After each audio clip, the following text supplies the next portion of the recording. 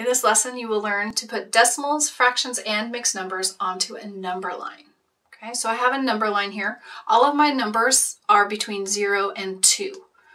Okay, so it's more than, it's not a negative number, and nothing is higher than two. Okay, so I have one and a half, I have one and a fourth, but nothing's bigger than two. So I'm going to start with my four tenths. Well, four tenths is between zero and one.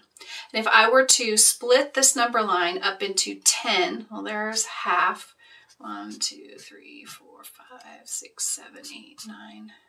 One, two, three, four, five, six, seven, eight, nine, ten. So you pretend that they're all even, nice and evenly spaced.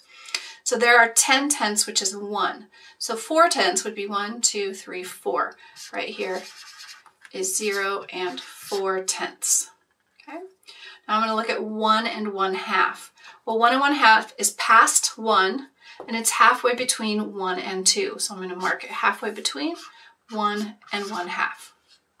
Now I have 75 hundredths as a decimal. 75 hundredths is like 3 quarters, or 75 cents is 3 quarters of one whole dollar. Oops, so it's down here. This is 4 tenths, 5 tenths, 6 tenths, 7 tenths. This is 7 tenths and 8 tenths. It's actually right between 7 and 8 tenths. 0 and 75 hundredths. Okay. Then I have 1 and 1 fourth. 1 and 1 fourth is between 1 and 2. So if I were to split this part between 1 and 2 up into four parts, so there'd be 1 fourth, 2 fourths, 3 fourths, and 4 fourths. 1 and 1 fourth is right here.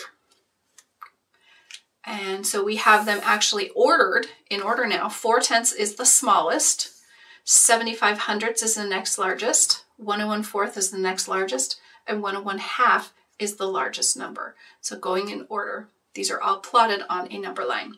And that's the end of our lesson on putting decimals, fractions, and mixed numbers on a number line.